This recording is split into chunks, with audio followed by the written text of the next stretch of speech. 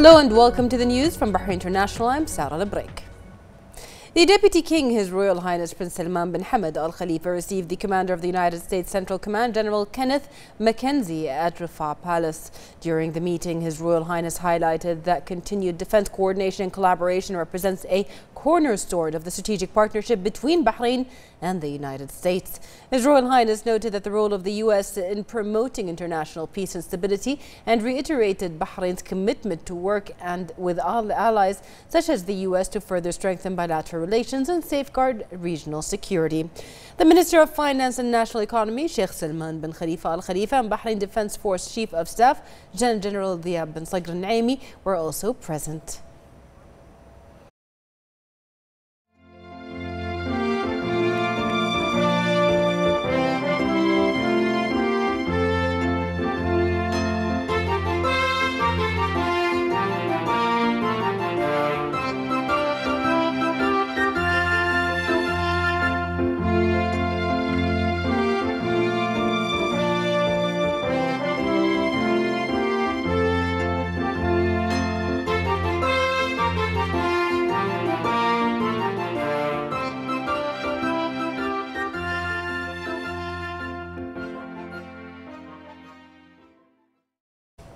The Representatives Council held its weekly session chaired by its Speaker Fawzia Zainal.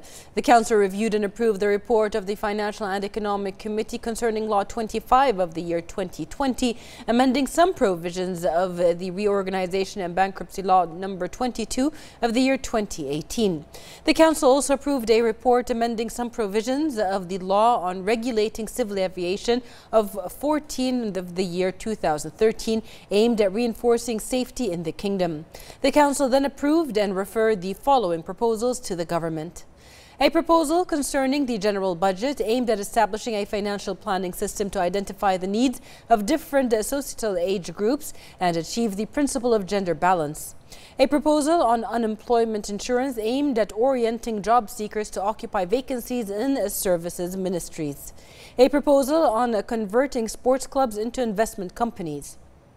The Council also reviewed and approved two urgent proposals and referred them to the government, which are allocating a specific location for Bahrainis for random testing and vaccinations and reconsidering the spring break offered for academic staff. The Supreme Council for Islamic Affairs, the SCIA, congratulated His Majesty King Hamad bin Isa Al Khalifa on the Legion of Merit degree of Chief Commander conferred by the former U.S. President Donald Trump in recognition of his efforts to consolidate friendship and partnership between Bahrain and the U.S., expand cooperation and support regional and international stability. SCIA President Sheikh Abdurrahman bin Mohammed bin Rashid Al Khalifa chaired the Council's regular session, stressing that the recognition is a great source of pride to Bahrain and its people. It also highlights his Majesty the King's deep commitment to the foundations of coexistence, peace among all people and civilizations through a series of leading initiatives locally, regionally and internationally. The Minister of Interior, General Sheikh Rashid bin Abdullah Al Khalifa, launched the new strategy for customs affairs for the year 2021 till 2024 during the celebration organized by the Customs Affairs.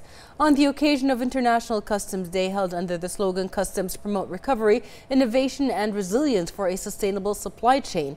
On the occasion, the Minister of Interior congratulated the Customs Affairs President Sheikh Ahmed bin Hamad Al Khalifa for winning the chairmanship of the World Customs Organization. He also expressed his thanks and appreciation for the development at the Customs Affairs witnesses and called for the importance of educating society on the achievements made in this field.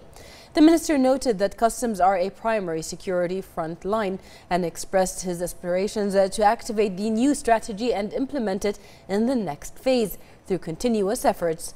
General Sheikh Rashid highlighted that Bahrain has received praise for handling the coronavirus pandemic and the applied program with the leadership of His Royal Highness the Crown Prince and Prime Minister Bin Salman bin Hamad Al Khalifa.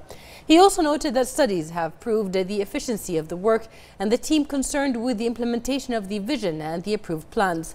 For his part, the President of the Customs Affairs hailed the efforts of all authorities and sectors in combating the pandemic, commending the role of frontline workers in all customs ports, their vigilance and commitment to facilitating the legitimate movement of travel and trade through ports and maintaining general revenue and public interest. He hailed the approach of the Minister of Interior in terms of sustainable aspirations for development in light of the available resources and capabilities seeking to achieve excellence at all levels. A film was then screened on the new strategy of the Customs Affairs, including its goals, initiatives and implemented projects. The Minister honoured a number of outstanding employees, hailing their efforts and wished them success.